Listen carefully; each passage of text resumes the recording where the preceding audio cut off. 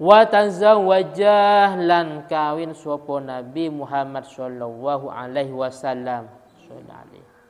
Zainab ing Siti Zainab. Zainab ing Siti Zainab. Zainab itu binta Jahsin putrinya Jahsin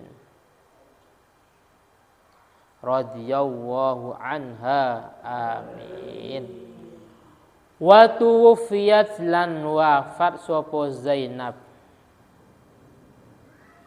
Jadi tuwfiyat itu eh, selamanya tuwfiyat tidak ada tawaf fayat atau tawafa ya.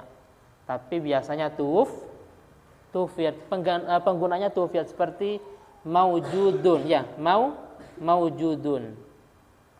Nah, maujud umpamanya itu uh, penggunaannya.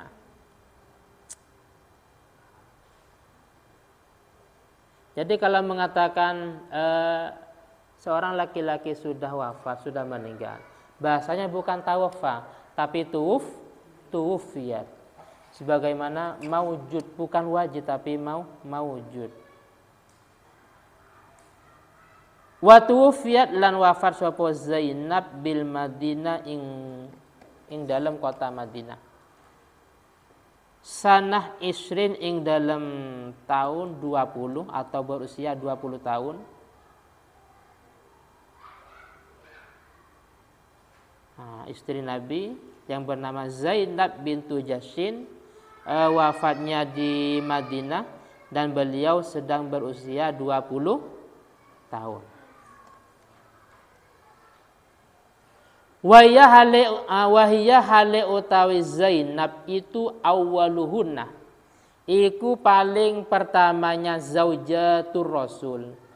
Paling awalnya istri-istri Nabi wafatan yang wafat. Istri-istri Nabi paling pertama yang wafat bernama Zainab bintu Jashin. Sedangkan paling terakhir yang wafat bernama Ummu Salamah. Fi ah wa awaluman wa awaluman lan pertamanya orang? Humilah yang di humilah yang di apa? Sing yang di dibawa apa? Dipikul ya. Humilah yang dipikul ala naksin di atas peti mati. Jadi pertama kali orang meninggal yang dipikul dengan peti mati itu adalah Zainab bintu Jashin. Oh berarti sebelum Zainab ini e, tidak ada ceritanya orang meninggal dunia dipikul dengan peti mati. Entah mungkin dengan guling mungkin atau dengan batal.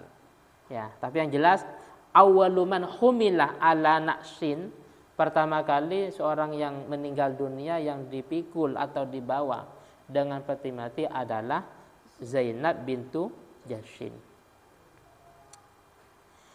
wa tazawwajah lan kawin sapa nabi Juwairiyah ing Siti Juwairiyah bintul Haris. Uh, putrinya Haris.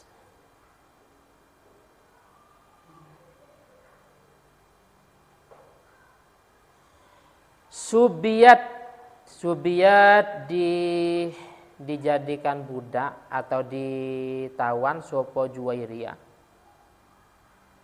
Pertama tawanan atau dijadikan budak.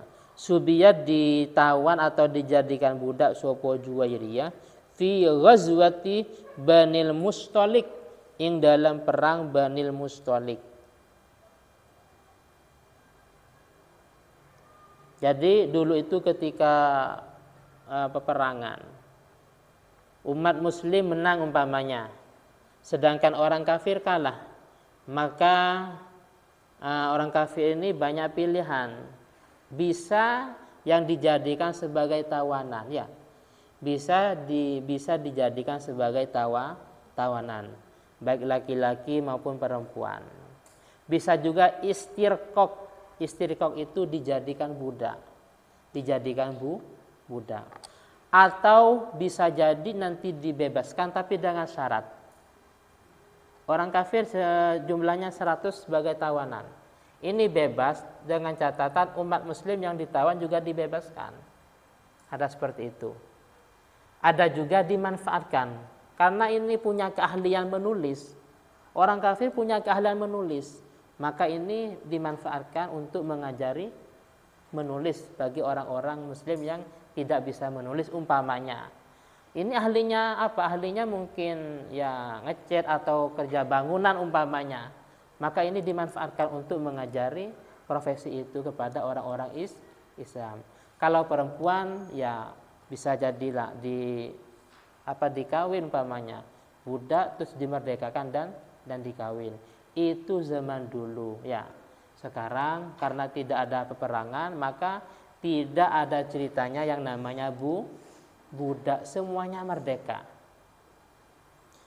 Jadi pertama Siti Juwairah ini eh, di peperangan Bani Musolik karena kalah mungkin orang kafir pada waktu itu dijadikan tawanan atau budak summa a'taqoha mongko nuli memerdekakan sopo nabi kemudian nabi memerdekakan ha ing Juwairiyah summa a'taqoha mongko nuli memerdekakan sopo nabi ha ing Juwairiyah. Kemudian Nabi memerdekakan. Setelah itu watazawajaha lan menikahi sapa Nabi ha ing Juwairiyah. Wa lan wafat sapa Juwairiyah. Wa tuwfiyat lan wafat sapa Juwairiyah sana sitin wa khamsin ing dalam tahun 56 pada usia 56 tahun. Wafatnya pada usia 56 tahun.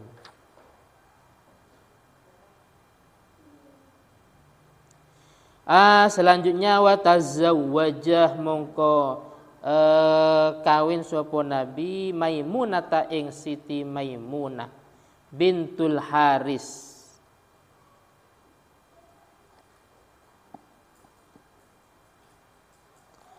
Radhiyallahu anha amin. Maimunah itu adalah khalatu Khalid bin Walid yaitu bibinya Khalid bin Walid jadi Siti Maimunah adalah bibinya Khalid bin Walid yang punya gelar Saifullah Saiful Saifullah pedangnya Allah karena kenapa karena setiap peperangan yang ada Khalid bin Walid pasti menang. Ketika Khalid bin Walid sebelum masuk Islam, orang kafir menang. Tapi ketika Khalid bin Walid pindah agama Islam, orang Islam pasti menang. Jadi ketika ada peperangan dan di perangan itu ada Khalid bin Walid, maka akan menang. Nah, beliau punya gelar apa? Say Saifullah, pedangnya Allah Ta'ala. radhiyallahu anhu. Amin. Wa Abdullah bin Abbas hmm, berarti wa Abdillah atau pada Khalid. Wa Abdillah bin Abbas dan bibinya Abdillah bin Abbas. Radhiyallahu